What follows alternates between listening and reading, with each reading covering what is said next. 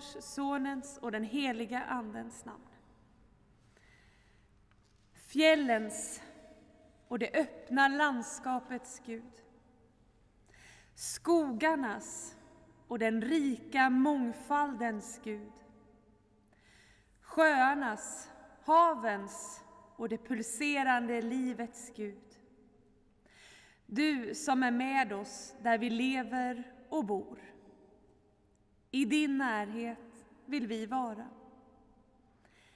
I ditt namn vill vi be och i ditt namn vill vi fira vår gudstjänst. Ännu bär inte Jesus korset upp mot avrättningsplatsen.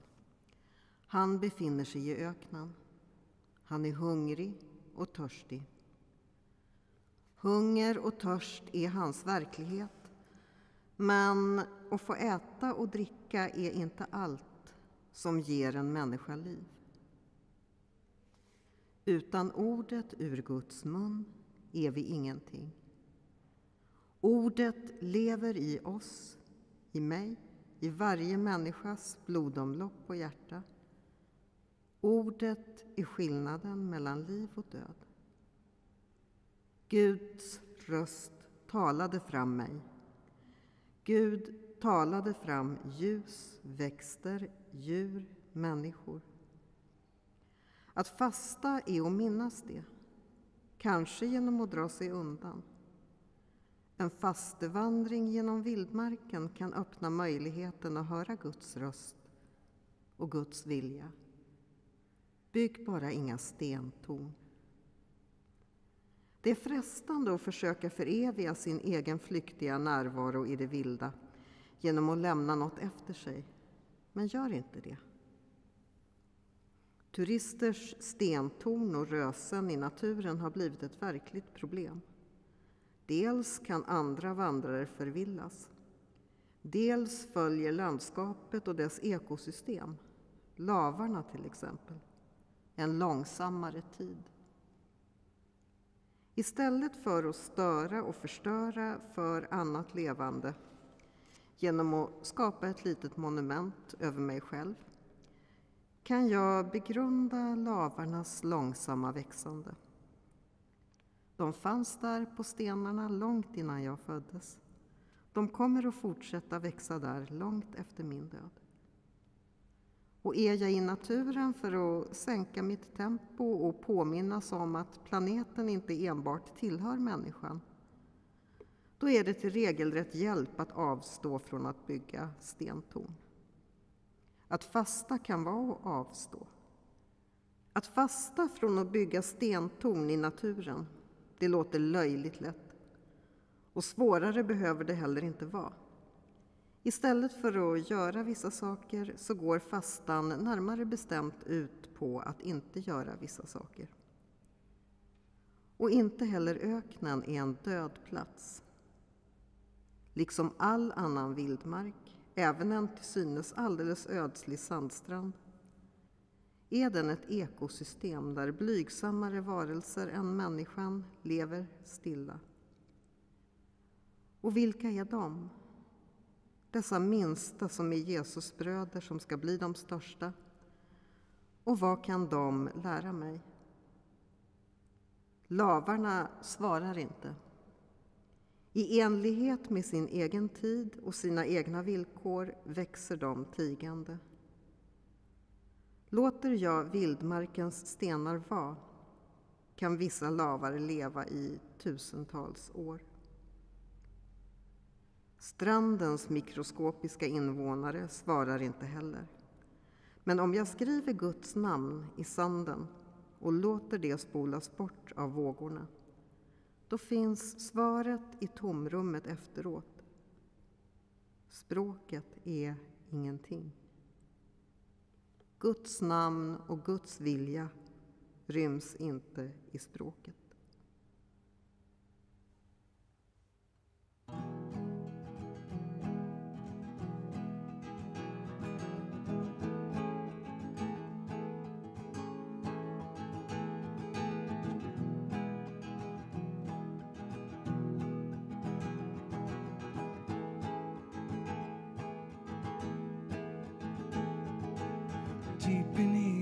Cobblestone, wrapped up in your holy robe. This is where I like to roam. Underneath a sickle tree, waiting like a pile of leaves, the ground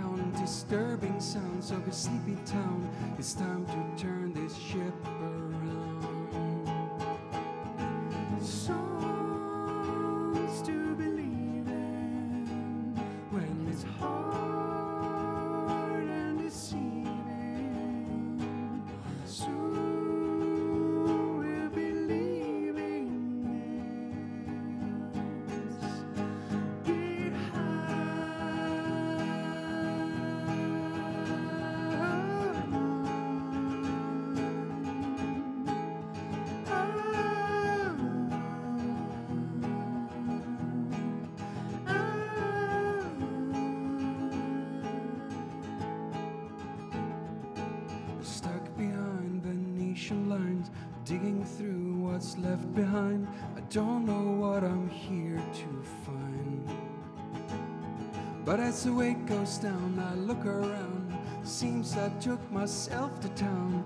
This is where it all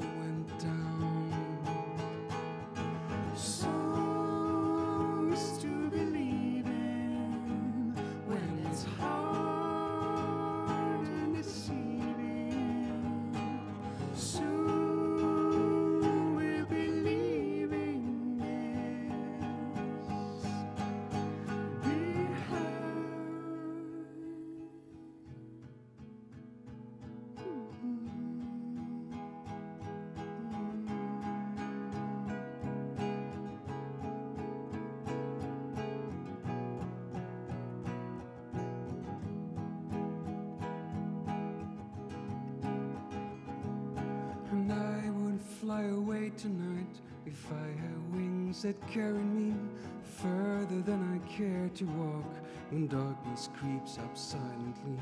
And you will be the butterfly. I feel you moving there. When I get lost tonight, you fill my lungs with empty air. The forest took off all its leaves to show the stars through naked trees. Nothing's wrong and nothing's right. I lost somewhere inside of me. I thought you'd be the one I lost, the one I never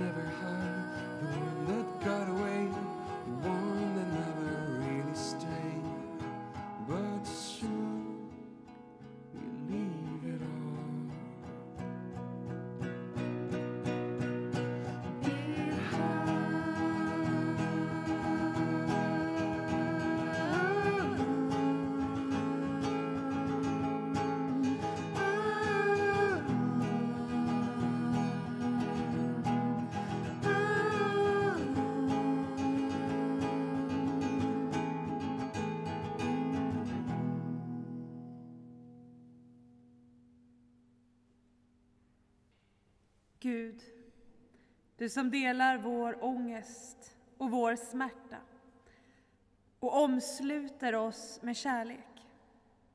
Ge oss tro att hålla ut när prövningar möter och kraft att orka i tider av torka och tomhet. I Jesu namn. Amen. Evangelieläsningen på första söndagen i fastan är hämtad från evangelisten Matteus i det fjärde kapitlet.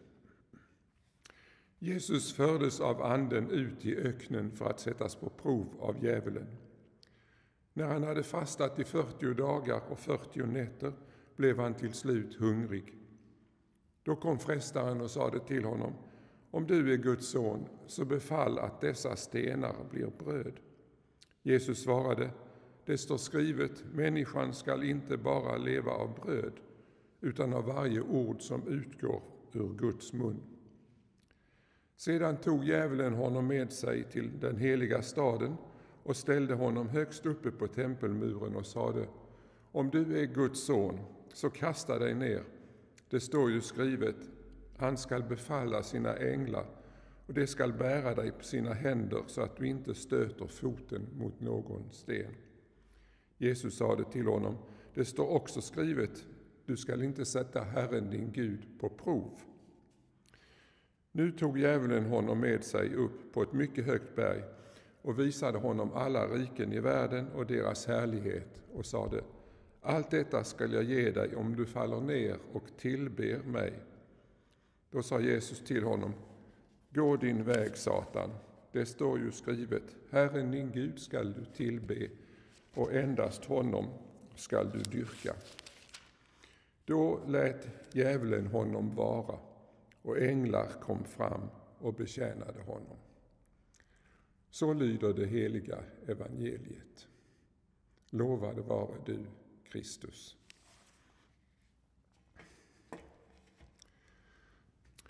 Utan oss kan Gud inte göra det, liksom vi utan Gud inte heller kan göra det. Det är Desmond Tutu, den dynamiske ärkebiskopen i Sydafrika, som citerar kyrkofadern Augustinus från 400-talet. Utan oss kan Gud inte göra. Utan Gud kan vi inte göra. Göra vad då? Jo, förvandla vår värld, förändra den, så att den här världens förvandling eh, innebär att Guds dröm blir verklighet. Och Desmond Tutu talar ofta om att Guds dröm just är den här världens förvandling. Det är Guds stora passion. Men är det också vår dröm och vår passion? Vad vill vi innerst inne, djupast i vårt inre?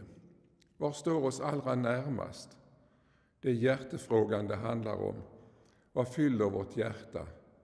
Vad fäster vi vårt hjärta vid? Det är just detta som den första söndagen i fastan handlar om. Temat är prövning eller frestelse. Båda orden används och har lite olika betoning. Men båda begreppen reser frågan vad vi djupast sett älskar, vad vi fäster vårt hjärta vid. Vår bibelläsning är hämtad ifrån Matteusevangeliet. Och eh, i evangelieboken där bibelläsningar för alla söndag och helgdagar återfinns, där läste vi Jesus fördes av Anden ut i öknen. Men i själva evangeliet, som vi läser det direkt ur Bibeln, i Nya testamentet, där står det Sedan fördes Jesus av Anden ut i öknen. Och det är viktigt, för det betyder att det som sedan berättas har sin upprinnelse i det som berättats tidigare i evangeliet. Och det handlar om Jesu dop av Johannes döparen vid Jordanfloden. Där fick Jesus sin kallelse att som Guds älskade son, som Guds utvalde, bli människa. Bli mer människa, människan enligt Guds plan. En människa med Gud som subjekt i sitt liv. Samme Gud som kallar leder vägen vidare ut i öknen där denna kallelse prövas. Vad uppfyller ditt hjärta? Vad fäster du ditt hjärta vid? Den första frestelsen handlar om det materiella, om bröd för en hungrig kropp, och det är ju något nödvändigt.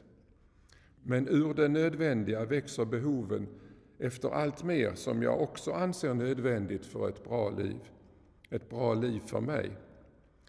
Allt att äga och kontrollera, vara centrum i sitt eget liv, alla goda syften till trots. Till sist är mitt liv så materiellt belastat att det fyller mitt hjärta. Jesus kallar det mammon. Det är när vi inte förmår genomskåda vårt ägandes och våra ägodelars flyktighet utan fäster vårt hopp, vår livsglädje, vår livsmening i ägandet och konsumerandet som sådant och därmed kontrollen över våra liv som det ytterst goda. Men människan lever inte endast av bröd, säger Jesus. Inte endast genom sina ägodelar, inte blott för konsumtion. Om vi tror det hamnar vi i tomhetens välde, som Paulus uttrycker det i Romarbrevets åttonde kapitel. Där skriver han att hela skapelsen ropar som i födslovåndor och att skapelsen längtar och väntar otåligt på att Guds barn ska uppenbaras, det vill säga hitta sin plats i tillvaron genom att ge Gud sin naturliga plats. Då skulle inte skapelsen, naturen, utsättas för övergrepp. Att hitta sin plats är att bli lyhörd för det gudomliga tilltal som talar ett annat språk än kontroll och konsumtion, nytta och begär. Ett språk som lyfter fram andra värden och värderingar. Detta gudomliga tilltal som finns inom varje människa men som så lätt bortförklaras och omyndigförklaras, överröstas och kvävs. Den andra frestelsen handlar om att använda religionen i jagförstärkandets tjänst. Imponera på mina medmänniskor med Gud som hantlangare och biträde. En tro som frågar vad jag kan få ut av Gud, vilken nytta Gud kan medföra i mitt liv. Vi vet alla med förfärande tydlighet hur ambivalenta vi människor kan vara i vårt förhållande till religion och andlighet. Kan jag använda mina andliga erfarenheter så som jag använder allt annat jag har tillgång till? Till att må bättre, till att bli en tryggare person, till att framträda med ett välputsat varumärke. Visst, det kan vara svåra gränsdragningar många gånger, men till syvende och sist så handlar det om subjektsfrågan. Är det jag själv, mitt ego, som är centrum i mitt aldrig så andliga liv? Eller lyckas jag detronisera mig själv? Vågar jag abdikera från den centrala positionen i mitt eget liv? Vågar jag lämna plats, lämna ett tomrum i mitt inre, öppna upp mitt hjärterum? I den tredje prövningen eller frestelsen sätts allt på sin spets. Imperiets lockelse. Tänk att med Guds hjälp få styra över hela världen. Jesus avvisade den lockelsen och hans följare avvisade den i över 300 år. Men när imperiet visade sin vänliga sida och bjöd in, då kunde kyrkan inte längre stå emot det kristna imperiets lockelse. Vad uppfyller då hjärtat? Maktlystnaden, makten över andra, makten över sitt eget liv, kontrollbehovet, inte bara över det egna livet utan också över andras liv, andras inre liv till och med. Men om vi avvisar egots krav på att få fylla mitt inre rum då blir det rum för Gud. Då kan Gud bli vårt livs subjekt, som hos Jesus, bli vår hjärtefråga. Då kan Guds vilja bli vår vilja. Då kan jag med Emilia Fågelklots ord låta mig viljas av Gud. Då kan vi göra det, medverka till den förvandling av vårt förhållande till planeten och allt som finns som klimatkrisen har utmanat och kommer att fortsätta att utmana oss till. Utan oss kan Gud inte göra det, liksom vi utan Gud inte heller kan göra det. Gud har inga andra händer än våra, men vi behöver ha Guds hjärta, Gud som subjekt i våra liv för att kunna räcka Gud de händerna.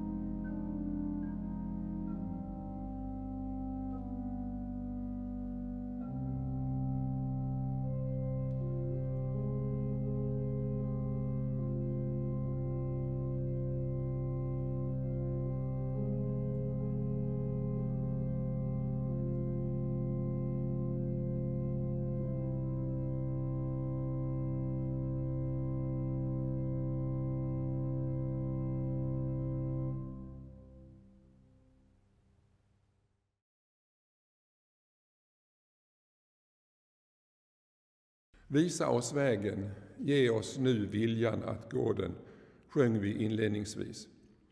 Jesus visade vägen genom sitt sätt att möta prövningarna i öknen, livets prövningar. Jesus visar vägen hela tiden. Han gör det på ett så genomgripande sätt att vi kan säga att Jesus själv är vägen. Med radikalt klarspråk. Om vi blir som Jesus så är planeten räddad. Då finns det plats för allt levande, både på den här jorden och i våra hjärtan. Och kanske är det det jag innerst inne vill. Jag är kanske trött på att vara inlåst i konsumtionsstrukturer som bara tvingats på mig. Jag är kanske trött på att tvingats möta mina medmänniskor som konkurrenter och andra levande varelser som bara nyttigheter vars egenvärde är noll. Alltså att de har ett värde bara om de är till nytta för mig. Och jag är kanske trött på en andlighet som är som en egotripp istället för en hjärtesak. Jag vill höra samman, jag vill höra till. Mitt hjärta vill, i varje fall ibland. Det finns hos profeten Hosea en skön bibelvers som kan beröra oss. Hosea levde samtidigt med profeterna Jesaja och Amos på 700-talet före vår tideräkning. Han skriver fram Guds röst. Jag ska locka ut henne i öknen och söka vinna hennes hjärta. Den gången handlade det om Guds relation till Israel och deras särskilda kärleksrelation. För oss handlar det om varje människosjäl, varje människas djupdimension som Guds kärlek längtar efter att befria från destruktiv självupptagenhet och egoistisk kortsynthet. Livet, människorna, naturen och allt levandes livsväv behöver denna befrielsehandling, en människas nyskapelse för att allt ska kunna leva. Och då går vägen genom öknen. I öknen där allt är så avskalat har vi möjligheten att genomskåda vårt självbedrägeri. I öknen får vi nya ögon, nya prioriteringar. Där väcks ny kärlek. Där upptäcker vi på nytt att vi bär på en längtan att vara mer människa. Människa som Jesus, som bara vill dyrka, det betyder älska Gud och låta det sen bära vidare bortom vår kontroll, på orösade leder i väglöst land, men med kärleken som vägmärken. Då kan vi avstå från att bygga stentorn, som Maria Küchen diktade om, och förundras över att vi la så mycket energi på att bygga dem. Då kan vi låta lavar leva i sin långsamma tid och av dem lära oss långsamhetens lov både i våra egna blodomlopp och i våra verksamhetsplaneringskalendrar. Öknen blir till en optik där vi får lära oss att se på världen med Guds ögon. Gud som älskar utan tanke på vad det ger tillbaka. Jag är fri att älska utan att kalkylera. Vad planeten behöver i klimatkrisens tid är kärlek. Inte flera och förfinade kontrollmekanismer som tillåter människan att fortsatt spela skapelsens herre. Imperiehjärtat, om än i förfinad form. Det handlar om att kunna släppa taget om det vi kallar antropocen, den totalt människostyrda livsformen. Kyrkan har gått in i fastans tid. Det betyder en inbjudan till ökenvandring, till att tänka efter var min djupaste längtan är, till att skala av det som binder mig i en livsform som jag inte valt eller velat, men som nu väcker varningsklockor i alla väderstreck. Hur kan jag bidra till en ny kurs, en ny människa? Hur kan jag vara ett subversivt eskatologiskt subjekt? Ett uttryck som teologen Werner Charon använder i sin bok Hoppets dynamik. Eskatologisk betyder att det handlar om slutmålet. Subversivt att det handlar om att nu underminera den omänsklighetskultur som förlett oss in på katastrofens väg. Den kultur som inte erbjuder oss en annan väg framåt än att vi ska konsumera oss ur krisen, att vi ska ta ett ännu fastare grepp om den övriga skapelsen och tränga oss in i dess allra innersta för att tvinga den att spela med på våra villkor, betjäna våra egos planer och drömmar. Och så fortsatt leva enligt den verklighetskarta där jag själv är centrum. Men vågar vi se med andra ögon på oss själva och allt annat? Vågar vi verkligen ställa oss i ett annat slutmåls tjänst, i Guds tjänst, i Guds rikets tjänst här och nu som eskatologiska subjekt? Då är det inte bara möjligt utan också naturligt och realistiskt att hoppas. Det är Guds fred och Guds framtid det handlar om och vår framtid som gåva. Men utan oss kan Gud inte göra det, liksom vi utan Gud inte heller kan göra det. Tillsammans så får vi stämma in i vår kyrkas bekännelse. Vi tror på Gud Fader allsmäktig, himmelens och jordens skapare. Vi tror och på Jesus Kristus, hans enfödde Son, vår Herre, vilken är avlad av den helige Ande, född av jungfrun Maria, pinad under Pontius Pilatus, korsfäst, död och begraven, nederstigen till dödsriket, på tredje dagen uppstånden igen ifrån de döda, uppstigen till himmelen, sittande på allsmäktig Gud Faders högra sida, därifrån igenkommande till att döma levande och döda. Vi tror och på den helige Ande, en helig allmännelig kyrka, det heliga samfund, syndernas förlåtelse, det dödas uppståndelse och ett evigt liv.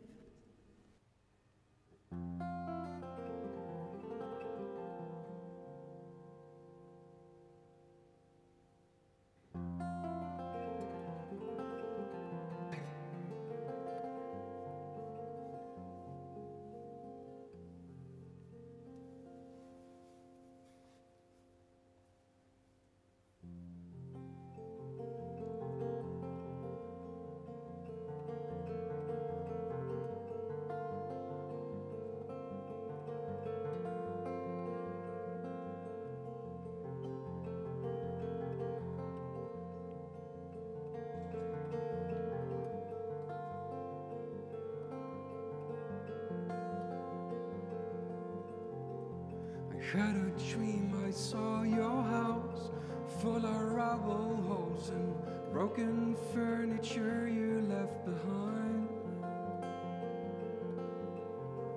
We tore the paper from the walls to find forgotten heavy doors. I saw it in your face. It's yours,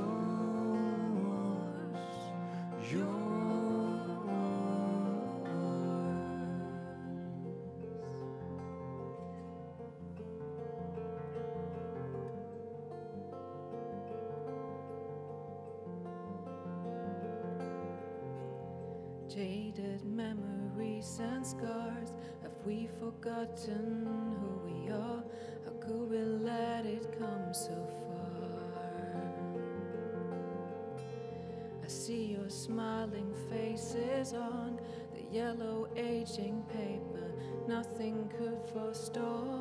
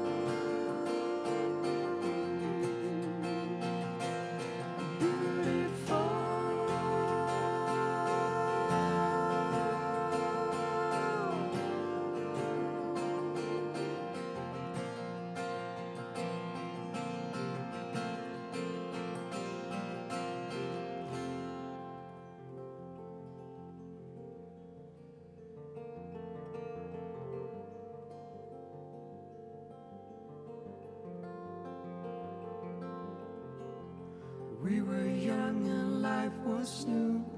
Nothing that we couldn't do. So far removed from you. Moving left or right or both.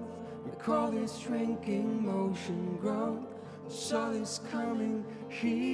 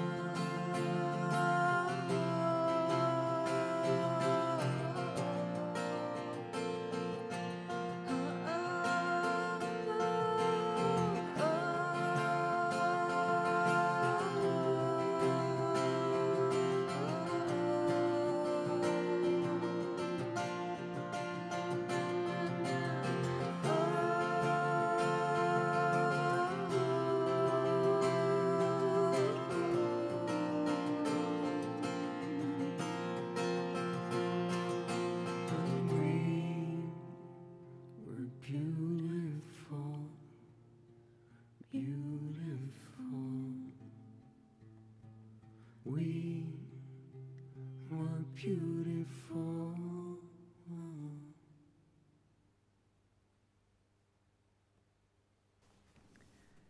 Vi ska be vår förbön. Och som förbönssvar så sjunger vi idag Hör vår bön. Sänd oss ut. Läk din värld genom oss. Vi ber. Evige Gud, hela jorden är full av din härlighet.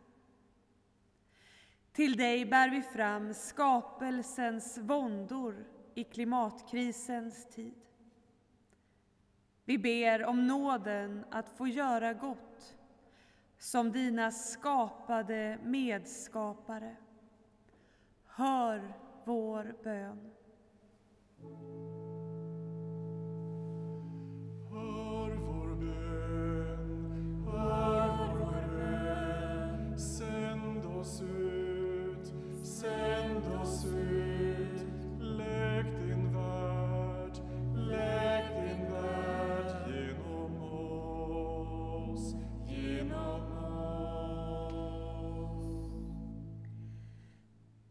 Jesus Kristus, du har gått på vår jord och lever mitt ibland oss. Gör oss känsliga för människors och hela skapelsens lidande. Stärk oss i arbetet för ett värdigt liv, i rättvisa och solidaritet med dem som lever och kommer att leva. Hör vår bön. Hör vår bön, hör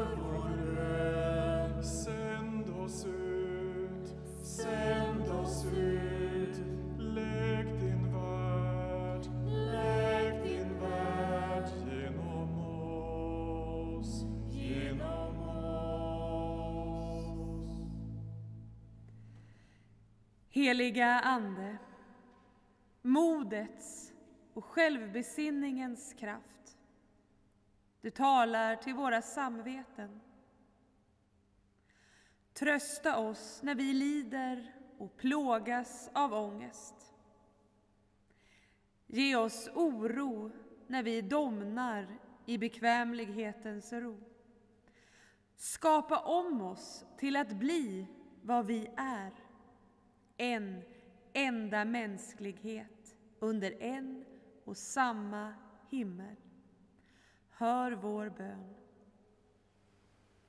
Hör vår bön, hör vår bön. Sänd oss ut, sänd oss ut.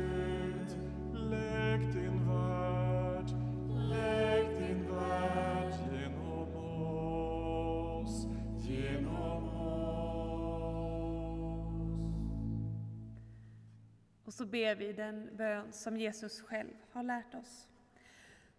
Vår Fader, du som är i himlen. Låt ditt namn bli helgat. Låt ditt rike komma. Låt din vilja ske på jorden så som i himlen. Ge oss idag det bröd vi behöver och förlåt oss våra skulder liksom vi har förlåtit dem som står i skuld till oss. Och utsätt oss inte för prövning, utan rädda oss från det onda. Ditt är riket, din är makten och äran i evighet. Amen. Vi ska sjunga vår nästa psalm tillsammans, psalm 733. Guds kärlek färdas här.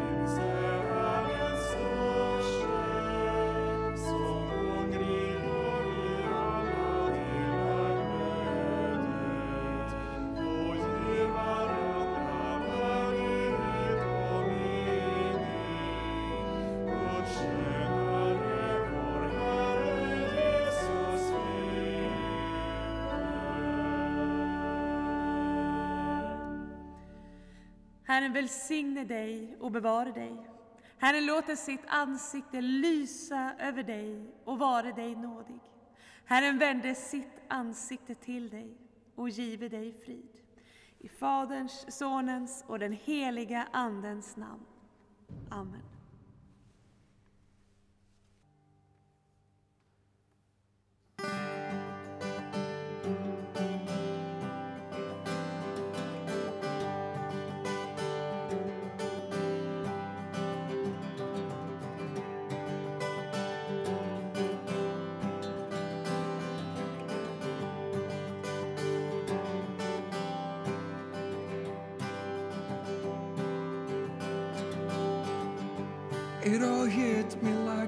avalanche.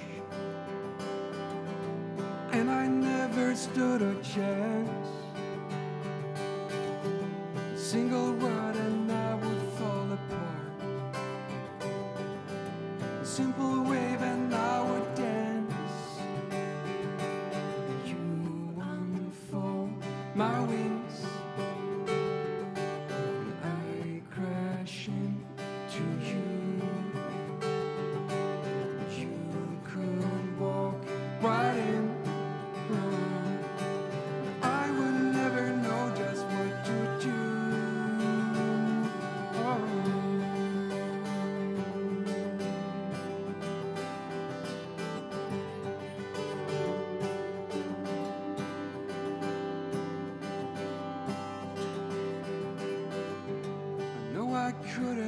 a better time.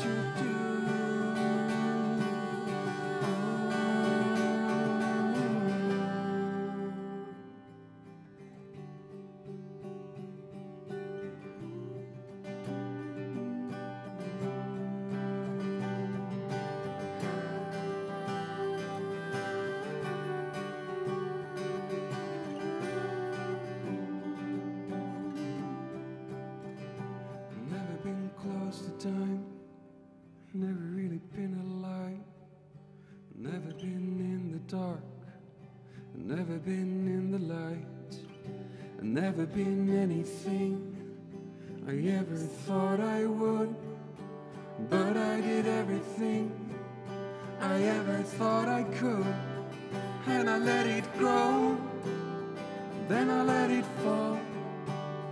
I had to let it go when I lost it all, lost it all for you.